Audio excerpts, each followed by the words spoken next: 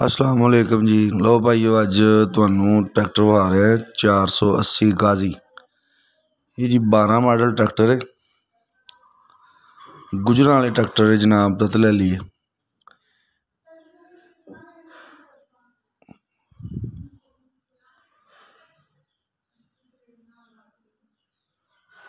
Ghazi 480 12 model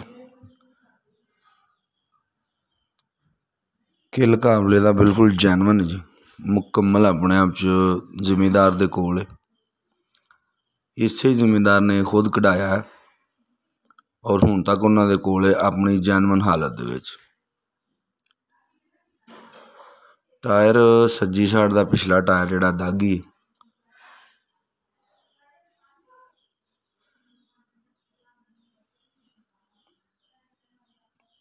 hook ਲੱਗੀ ਹੈ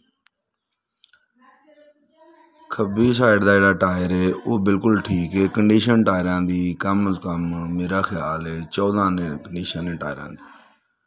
ਛੱਤ ਲੱਗੀ ਹੈ ਗੁਜਰਾਂ ਵਾਲੇ ਦਾ ਨੰਬਰ ਹੈ ਜਨਾਬ ਇਹਦਾ।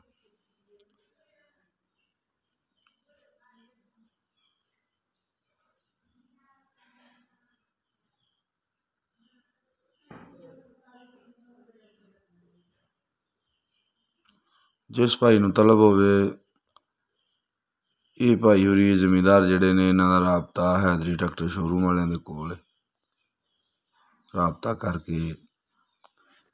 ਇਹਦੇ ਬਾਰੇ ਦੀ ਸਾਰੀ ਕੰਡੀਸ਼ਨ ਇੱਕ ਗੱਲ ਦੀ ਮੁਕੰਮਲ ਤਸੱਲੀ ਹੈ ਕਿ ਪਹਿਲੇ ਹੱਥ ਦਾ ਟਰੈਕਟਰ ਔਰ ਜੈਨੂਨ ਹੈ, ਮੁਕੰਮਲ ਇਹਦੀ ਸ਼ੋ ਮਰਗਾੜ ਨਵੇਂ ਜਿਹੜੇ ਨੇ, ਪਹਿਲੇ ਹੱਥ ਦੇ ਲਾ ਕੇ ਰੱਖੇ ਨੇ ਬਾਅਦ ਵਿੱਚ ਪਾਏ ਨੇ ਜਿਸ ਮੇਰੇ ਭਾਈ ਨੂੰ ਇਸ ਤਰ੍ਹਾਂ ਹੀ ਚਾਹੀਦਾ ਹੋਵੇਗਾ, ਇੰਜ ਜੇ ਕੋਈ ਕਵੇਗਾ ਤਾਂ ਜੈਨੂਨ ਇਹਦੇ ਮਰਗਾਡਾਂ ਜੈਨੂਨ ਸ਼ੋ ਪੱਲਿਆਂ ਦੇ ਵਿੱਚ ਲੱਭੇਗਾ।